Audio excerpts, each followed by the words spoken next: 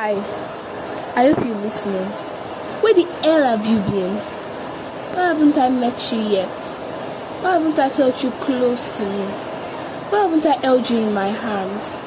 Why haven't you told me how awesome man I am? Why haven't you helped me evolve and become a better person and a better Muslimah? Come and take me. Make me feel like the luckiest girl in the world. Make me feel good about myself and how miserable life has been. Tell me those memes that hero told the heroine about how their happy ending is on the way and about how their hard work will be replaced with happiness and happy ever afters. I promise to love you until I die. I promise you tightly in my arms and never make you cry. I promise never to hurt you or talk back at you.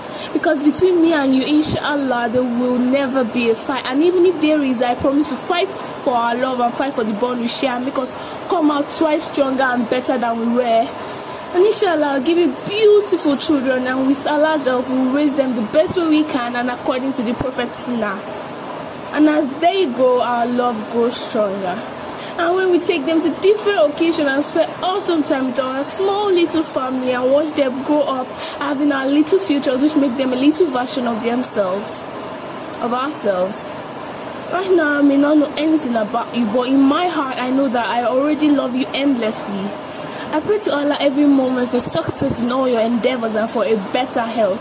I pray that when we meet, we understand each other a lot, the things we say and the things we don't. I pray that when we meet, we take time to give compliments to each other on the little things that really do matter.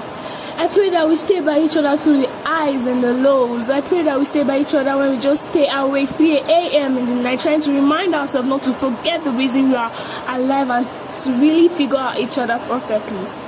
And I pray that sometimes when we are together, we just stare into each other's eyes to just let our eyes comfort each other. Lastly, I pray to Allah to give me a sign that you're near.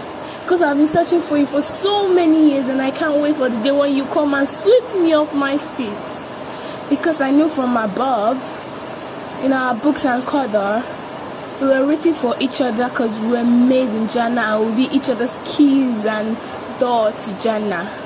Until that day comes, my heart will be incomplete and it will be filled with so much pain, pain that can only be healed when you are here, inshallah.